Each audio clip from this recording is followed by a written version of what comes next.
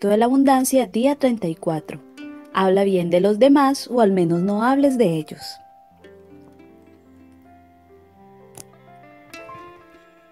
Si no quieres que hablen mal de ti, no hables mal de nadie. Lo positivo atrae lo positivo. Yo gano, tú ganas. Habla bien de ti, sí, ya lo has visto en el tío anterior, pero hazlo también con los demás. Habla bien de ellos, olvida los rumores, los cotilleos. Este tip se basa en el principio de hacer a los demás lo que quieras que te hagan a ti, o al menos en el no hacer a los demás lo que no quieres que te hagan. Es un principio básico que mejorará tu vida de una forma abismal. Si no tienes nada que decir bueno de estas personas, tiene otra alternativa, no hablar de ellas, tan simple como esto.